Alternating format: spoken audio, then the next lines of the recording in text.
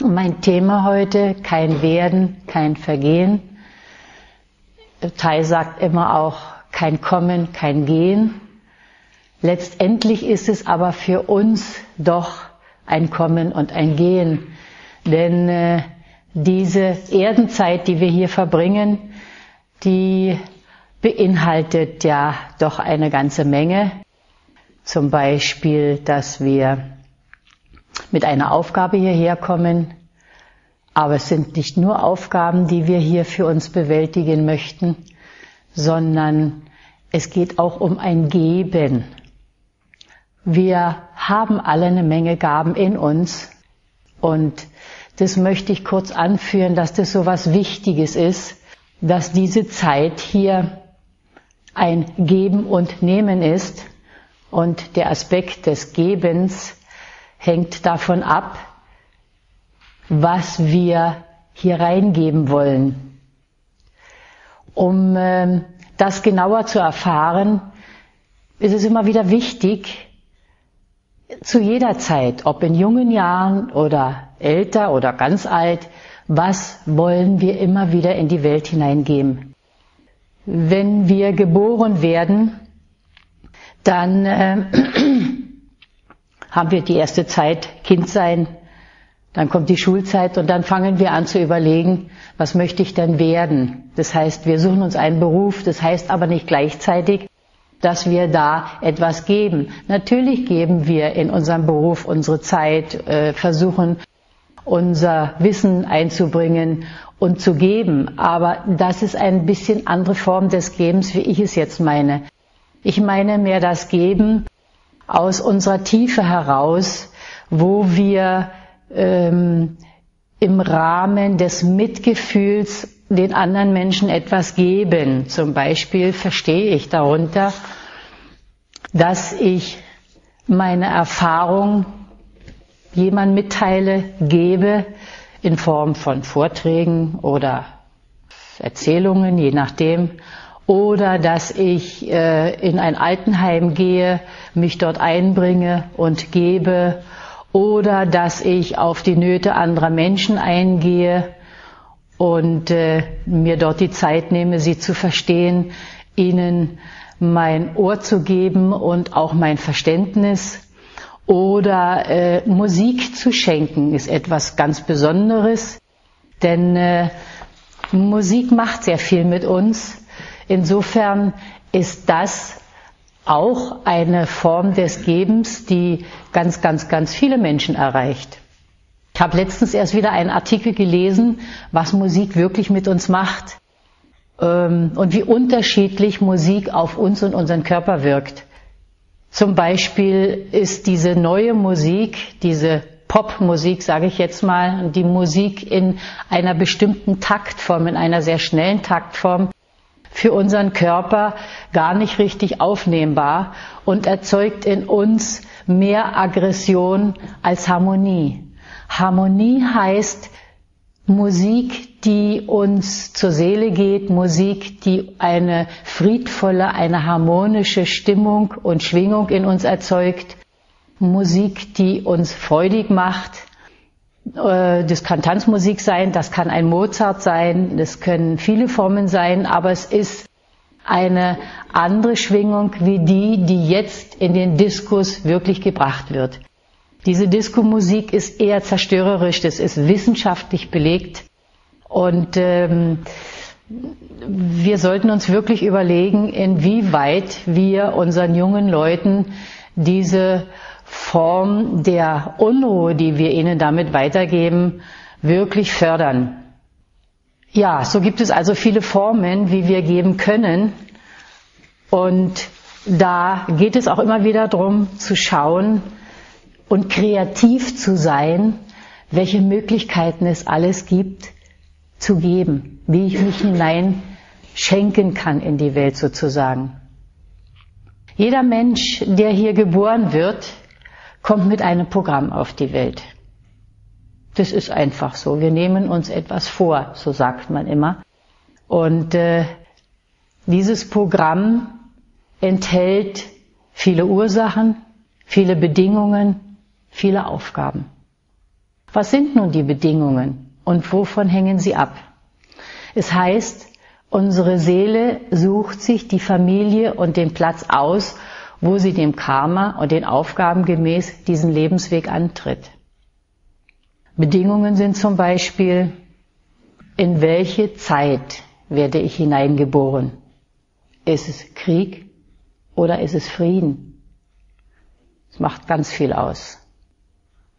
Wir Älteren, da kann ich inzwischen auch schon mitreden, die wir den Krieg noch erlebt haben, haben sehr viel mehr Ängste und Impulse aus der Kriegszeit in uns, die sich immer wieder in uns leben, wie Menschen, wie junge Menschen, die in einer friedvollen, liebevollen Zeit geboren wurden und auch aufgewachsen sind. Ich denke da immer wieder an meine Mutter, die schon zwei Weltkriege hinter sich hat, wie viel dort an schrecklichem Erlebnissen und sonstigen Erfahrungen gemacht wurden und trotzdem gibt es auch da immer wieder ein Vergessen, ein Entschuldigen dessen, was war, vor sich selbst, für andere und immer wieder die Kraft und den Mut, neu anzufangen.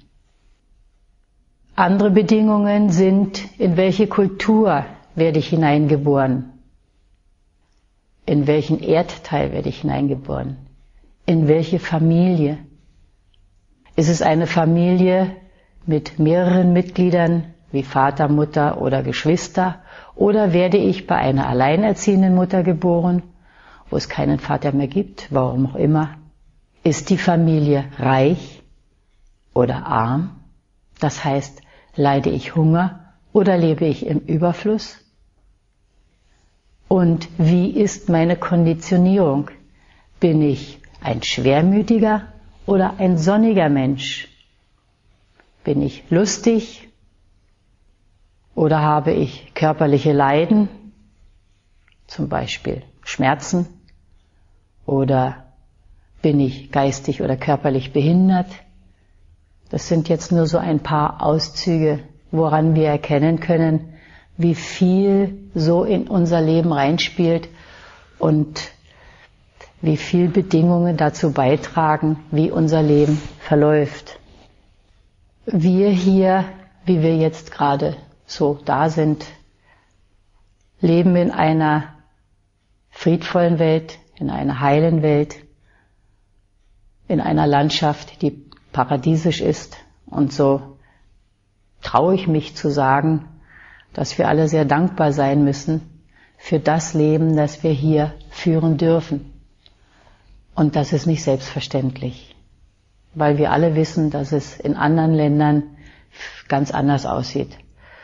Und gerade jetzt, wo überall wieder Unruhen entstehen, wo die Menschen wieder ihre Aggressionen leben, dürfen wir froh sein, dass uns das nicht erreicht hat. Wie sich so etwas immer wieder ausbreitet, wissen wir nicht. Und darum geht es auch immer wieder darum, in diesem Moment zu leben und dieses Jetzt dankbar anzunehmen, voller Freude. Auch die Gemeinschaft, was Christian heute wieder so betont hat, ist so etwas Wichtiges dabei. Wir bemühen uns darum, wir praktizieren miteinander, und das finde ich wunderschön. Ich hatte gerade in der letzten Woche auch ein sehr schönes Erlebnis, wo ich gedacht habe, so könnte die Welt in Zukunft werden. Das ist so meine Vision, die ich in mir trage. Wir reden ja auch immer von einer Bewusstseinserweiterung, wie auch immer hm, das Ganze aussehen wird, aber äh, es stellt sich mir so ein bisschen dar, als wenn es bei uns wie so ein Schalter ist, der umgelegt wird wo wir alle ähm, ein anderes Zusammensein finden können. Und äh, dieses Beispiel in der letzten Woche war für mich so etwas, wo ich gedacht habe, ja, so könnte es aussehen. Ich äh, war in einer Klinik und da waren sieben Damen. Äh, ich bin da reingekommen, weil ich immer wieder was körperlich für mich tue habe mich dann gleich an den Tisch gesetzt, wo diese sieben Damen saßen und wir waren gleich beieinander mit einem Du in einer Offenheit, was ich eigentlich so noch nie erlebt habe. Jeder erzählte von sich und wir waren innerhalb von ein paar Stunden wie eine Familie. Es war also sowas Außergewöhnliches, wo ich gedacht habe, guck mal an, äh, liegt es jetzt schon an der Zeit oder liegt es daran, dass diese Menschen vielleicht schon mit sich geübt haben? Waren natürlich Therapeuten mit dabei.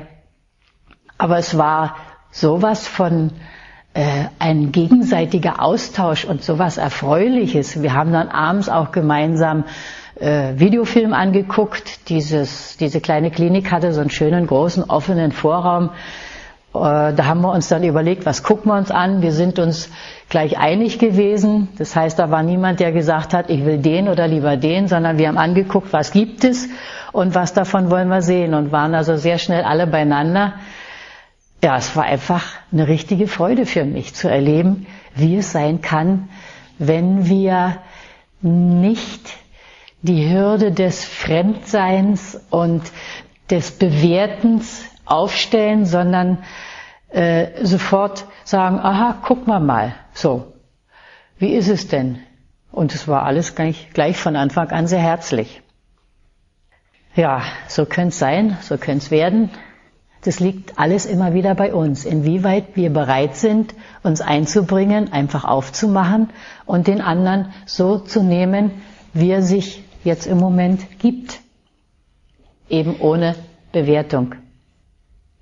Ähm, anhand dieser ganzen Beispiele, die natürlich noch sehr zu erweitern sind, sehen wir bereits, wie vielfältig unser Leben bedingt wird, beziehungsweise dass von Geburt an bis zu unserem Ableben wir laufenden Veränderungen unterworfen sind, und zwar physisch wie auch psychisch. Unsere Körperzellen werden und vergehen, und der ganze Körper ist somit in einem laufenden Wandel. Gerade Krankheit gehört mit zu diesem Prozess, und macht unsere Veränderung oder äh, sorgt auch für Veränderung. Denn äh, Krankheit ist immer wieder eine Möglichkeit, uns zu fragen, was hat sich jetzt von unserem seelischen her ins körperliche manifestiert? Inwieweit gibt es Dinge, die ich für mich nicht integriert habe, die ich nicht annehmen kann, und die sich jetzt in meinem Körper über Krankheit ausdrückt. Das heißt natürlich nicht, dass Krankheit immer nur ein jetziger Prozess ist. Krankheit kann natürlich auch äh, etwas Karmisches sein, aber es gibt nichts, was wir ein Leben lang tragen müssen. Alles ist Veränderung und es gibt für alles immer Möglichkeiten, es anders zu betrachten und anders damit umzugehen. Es gibt ja einige Bücher auch, die darüber schreiben. Krankheit als Chance vom Detlefsen zum Beispiel. Der Dahlke hat auch darüber geschrieben, viele andere auch. Somit äh, können wir uns immer wieder überlegen, wie kann ich mich in meinem Denken, in meinem Verhalten so verändern, dass ich meinen Körper wieder heilen kann. Und wir wissen ja auch inzwischen aus der Forschung heraus, dass auch Gene veränderbar sind. Also es ist natürlich etwas, was wir genmäßig mitbringen, ein langer Prozess ist und meistens ein chronischer, aber nicht bedeutet, dass er nicht veränderbar ist. Ja, wie gehen wir nun mit diesen ganzen Dingen um? Und was packen wir alles in unsere Lebenszeit hinein, beziehungsweise was, was wird uns auch hineingepackt. Es ist ja nicht so, dass wir immer entscheiden können über all das, was wir tun und lassen. Denn äh, wir leben in einer Gemeinschaft und in einer Gemeinschaft geht es immer wieder darum, uns anzupassen, nicht unterzuordnen. Das Wort möchte ich absichtlich gar nicht benutzen, sondern ein Miteinander zu finden, wo wir uns einigen können, wo wir ähm, uns immer wieder angleichen können. Und vieles davon kann ich mitentscheiden, kann ich auch wählen, aber es gibt auch Dinge, die hm, ich tragen muss, die ich schlecht verändern kann, mit denen ich einfach lernen muss, umzugehen. Und Dinge, denen ich ausgeliefert bin, die gibt es auch. Bei all unseren Handlungen haben wir stets mehrere Möglichkeiten, die unser Leben gestalten. Das wissen wir. Und die Palette ist groß. Diese Möglichkeiten hängen wiederum von unserem Bewusstsein ab. Das heißt, von unseren Gedanken, Gefühlen und Erfahrungen.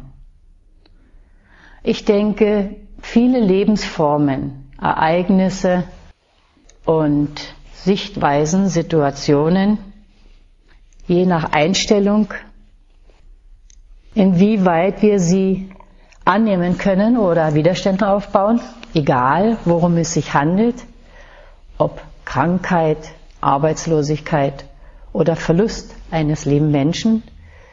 Dazu möchte ich nochmal ein Beispiel von mir bringen, aus meiner eigenen Erfahrung. Als Karl, mein Ehemann, vor vier Jahren dieses Dasein verlassen hat, war die letzte Zeit mit ihm und mein Wissen darum, dass er geht, natürlich voller Traurigkeit und Angst. Ich stellte mir immer wieder die Frage, wie geht es dann in meinem Leben weiter? Was kommt da alles auf mich zu?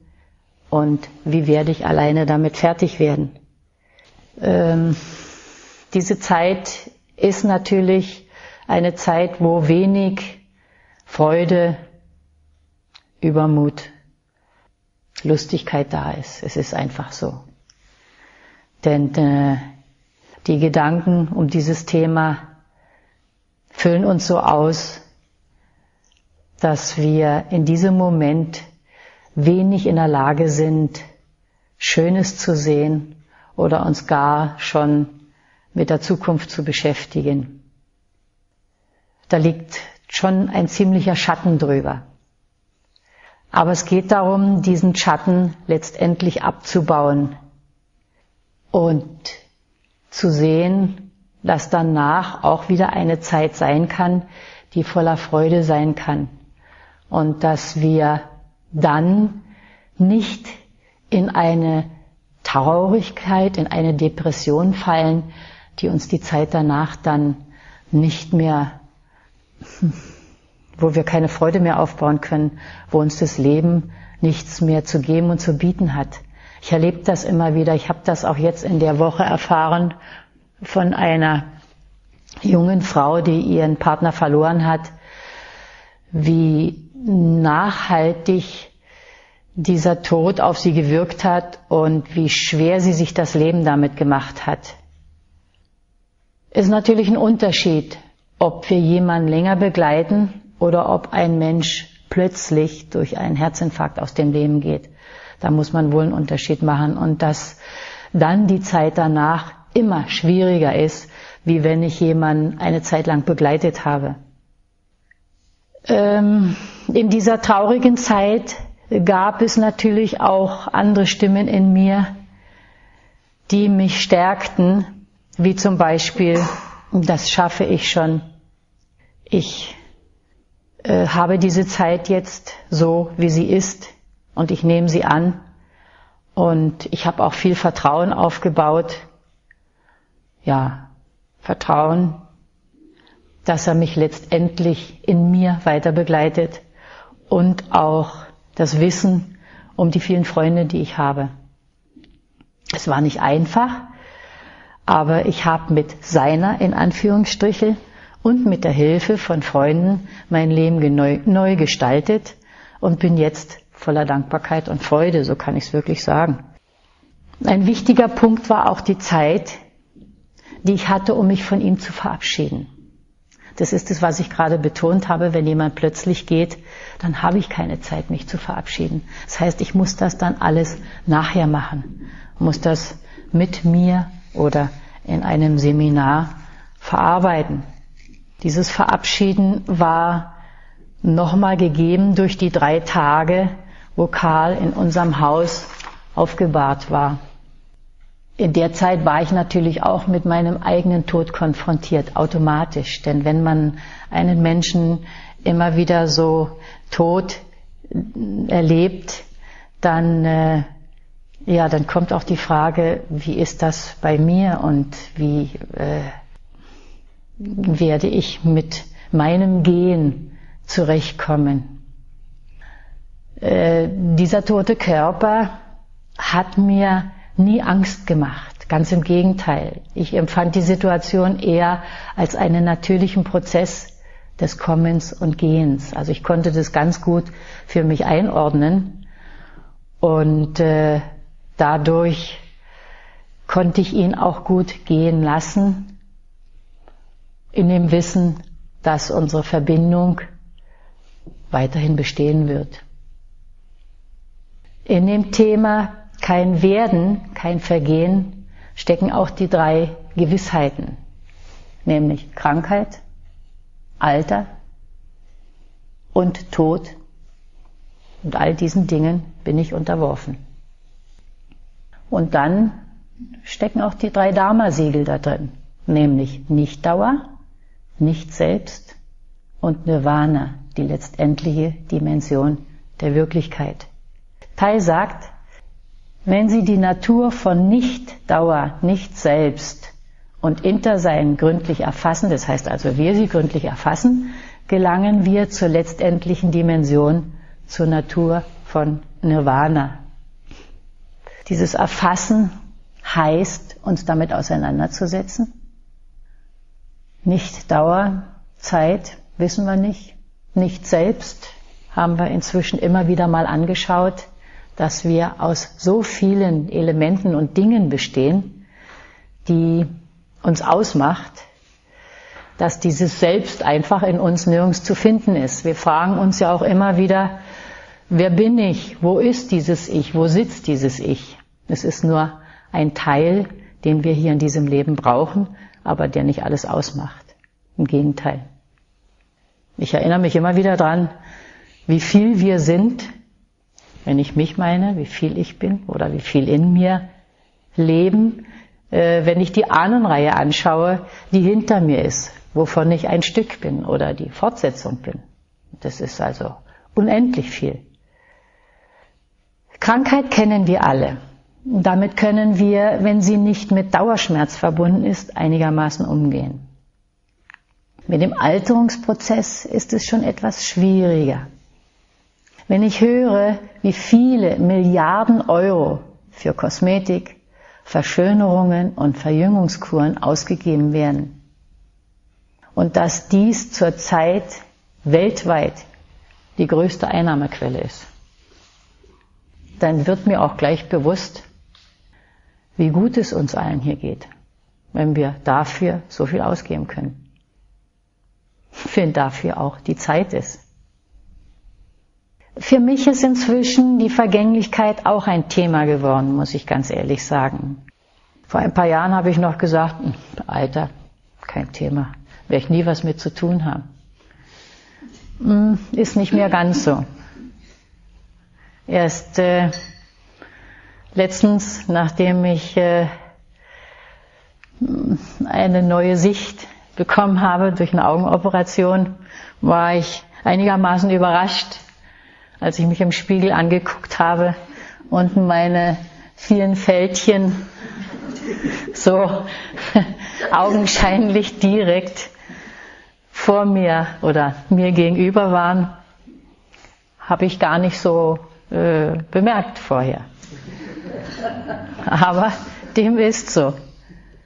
Also es ist so, dass meine Augen nicht mehr so gut sehen, meine Kraft und Energie lässt nach, ich werde in allem langsamer, der Körper verändert sich und ich ertappe mich bei der Frage, kann ich das alles so annehmen? Und inzwischen, wenn ich so ganz ehrlich mit mir bin, muss ich sagen, nicht wirklich. Also dieses Thema beschäftigt mich jetzt schon auch. was ich früher immer so locker vom Tisch gefegt habe, und mir gedacht, wird für mich nie ein Thema. Ist nicht ganz. Aber es gibt natürlich auch schöne Seiten des Älterwerdens, wie zum Beispiel, ich bin geduldiger, ruhiger, gelassener, erlebe das jetzt bewusster, habe mehr Freunde, Verständnis und Mitgefühl. Und ich kenne viele ältere Menschen, die trotz Alter und Krankheit eine Lebendigkeit mit einem sprühenden Geist und Freude ausstrahlen, dabei liebenswert sind, dass ich immer denke, was hast du eigentlich? Ist faszinierend. Meine alte, liebenswerte Freundin Gertraud Gober ist für mich zum Beispiel ein großes Beispiel, ähm, wie gut die Frau in ihrem Alter nicht, ich möchte nicht sagen aussieht, weil natürlich äh, hat sie auch ihre Falten, aber wie ihre Ausstrahlung noch ist, wie sie rüberkommt, wie sie lebendig ist, wie sie, sie wird jetzt 90 in diesem Jahr, immer noch äh, all ihre ihre äh, Gäste begrüßt und, und da ist und immer noch Einweisungen gibt, immer noch Vorträge gibt. Ja, und da spielt das Alter überhaupt keine Rolle, sondern ich sehe sie in ihrem Ganzen, in ihrer Lebendigkeit, auch in ihrer Schönheit, die auch im Alter noch da ist. Und das ist schon was Großartiges. Das heißt also, wir müssen gucken, dass wir lebendig bleiben, auch wenn wir älter werden. Natürlich wird alles ein bisschen langsamer, aber darf doch auch. Und äh, ich denke immer wieder an Tai, wenn er sagt, je langsamer wir werden, umso achtsamer werden wir. Das ist wirklich so. Das habe ich ihm auch immer nicht geglaubt, weil ich so viel Freude an meiner Schnelligkeit, an meiner Beweglichkeit hatte, an meinem Rennen hatte. Und äh, wenn ich ihm das so gesagt habe, dann hat er mich immer angeguckt und hat nur geschmunzelt. Wahrscheinlich wird er sich gedacht haben, naja, äh, es dauert noch ein bisschen, aber irgendwann wirst du das auch für dich erkennen. ja, das ist tatsächlich so. Je langsamer wir werden, umso achtsamer werden wir auch und sehen viel eher die Blümchen an unserem Wegrand. Früher bin ich durch meine Berge gerannt, voller Freude natürlich, dass ich in zweieinhalb Stunden über einen Breitenstein oben sausen konnte. Heute freue ich mich, wenn ich überhaupt noch raufkomme. Und wenn ich dann langsam gehe, Schritt für Schritt, und sehe, wie schön so alles rundherum ist, die Blümchen, die schon blühen, egal zu welcher Jahreszeit. Jetzt geht's schon los, wenn die ersten Sonnenstrahlen kommen und die Leberblümchen schon äh, so hübsch blau unter den Bäumen, unter diesem Laub vorschauen, dann ist es auch was Wunderbares. Und der Genuss ist mindestens so groß, auch wenn ich etwas langsamer und später auf den Berg komme. Ja, nicht Dauer, nicht selbst, Nirvana. Das beschreibt der Teil sehr klar mit dem Beispiel, schwimmen wir in einem Fluss, in dem wir gestern schon geschwommen sind, so ist dieser heute nicht mehr der gleiche. Er ist der gleiche und doch nicht. Denn das fließende Wasser ist nicht das gleiche von gestern. Ebenso ist unser Selbst von gestern nicht mehr das von heute. Denn alte Zellen sind gestorben, neue sind entstanden. Die Gedanken und Gefühle haben sich auch verändert. Nicht selbst bedeutet zugleich Leerheit. Das heißt, es ist kein eigenständiges Selbst vorhanden und keine unabhängige Identität, sondern Intersein. Und dieses Intersein müssen wir uns wirklich jede Stunde, sage ich jetzt mal, nicht jede Minute, aber jede Stunde, immer wieder bewusst machen. Wir sind mit allem verbunden. Wir sind von allem ein Teil. Von der Natur, von unserem Gegenüber, von den Pflanzen, von den Tieren, von allem. Alles, was da draußen ist, ist auch in uns. Und umgekehrt, Trismegistus sagt, wie oben, so unten, wie innen, so außen.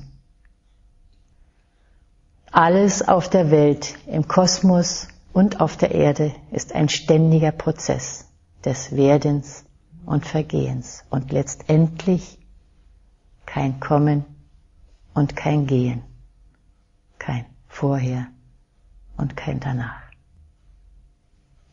Danke euch.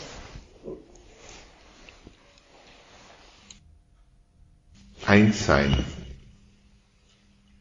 Im Augenblick, in dem ich sterbe, will ich versuchen, zu dir so schnell ich kann zurückzukehren.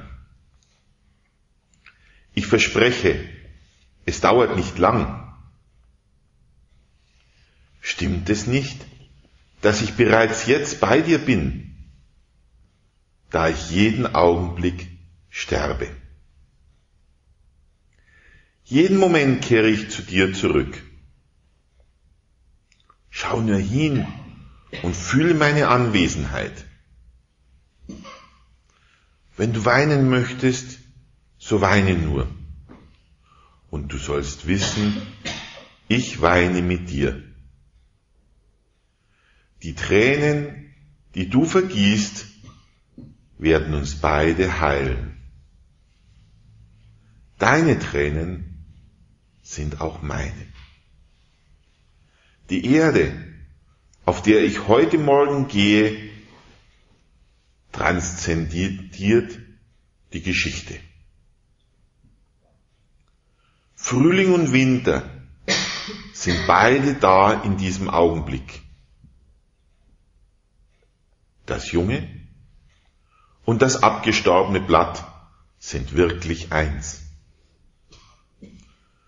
Meine Füße berühren Todlosigkeit. Und meine Füße gehören dir. Geh jetzt mit mir. Lass uns eintreten in die Dimension des Einsseins und den Kirschbaum im Winter blühen sehen. Warum sollten wir über Tod sprechen? Ich brauche nicht zu sterben, um wieder mit dir zusammen zu sein.